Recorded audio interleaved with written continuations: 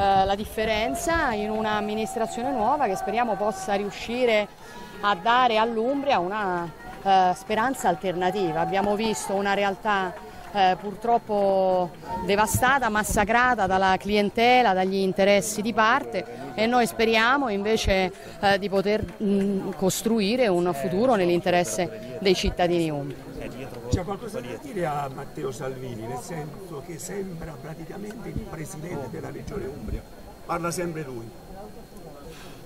Beh, io questo no, non lo so, credo che stia facendo campagna elettorale per quello che mi riguarda. Io sono concentrata appunto sul lavoro che Fratelli d'Italia può fare. Eh, contiamo su una squadra di persone assolutamente preparatissime, competenti, che per l'Umbria hanno già lavorato tanto, ma anche su innesti di mondi eh, delle professioni, dell'impresa, della società civile. Ecco, questa è una regione che deve trovare insieme il coraggio di eh, rialzarsi perché è, è, è, drammatico che si parli di una regione così straordinaria per gli scandali sulla sanità piuttosto che e quindi noi siamo concentrati su questo, poi ognuno fa campagna elettorale come crede di doverla fare. Sarà un voto decisivo a livello nazionale secondo lei?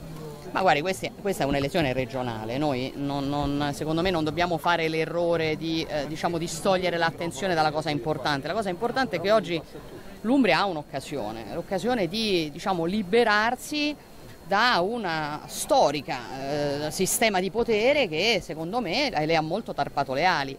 Poi rimane che eh, abbiamo dall'altra parte Sinistra e Movimento 5 Stelle che continuano a fare tutto quello che è umanamente possibile per fregare i cittadini, per provare a fregare i cittadini. Cosa si aspetta da queste elezioni visto che gli indicatori ti danno in forte, in forte crescita? Mi aspetto di vedere riconosciuto un lavoro fatto sul territorio da persone capaci che amano questa regione, eh, oneste, precise, che hanno sempre fatto bene il loro lavoro e mi aspetto per Fratelli d'Italia, diciamo, sul piano del, del generale eh, nazionale, il riconoscimento eh, della credibilità che ha una forza politica che non ha eh, scelto mai le scorciatoie. Il governo rosso-giallo ancora non ha chiarito se riuscirà a disinnescare le clausole di salvaguardia e impedire l'aumento dell'IVA dal 1 gennaio 2020, in compenso sono tutti occupati a mandare avanti la legge per concedere la cittadinanza automatica agli immigrati. Contro questa vergogna Fratelli d'Italia è già mobilitata. Giovedì saremo davanti al Parlamento a raccogliere le firme che raccoglieremo in tutta Italia anche nel prossimo fine settimana per dire al Presidente della Repubblica di fermare questo scempio. Sei da Pisco, Squarta, Zaffini. Con Eccolo. Ci abbiamo pensato. Eh? Con chi andrebbe a cena Io con tutti e tre, vado a cena spessissimo con tutti e tre.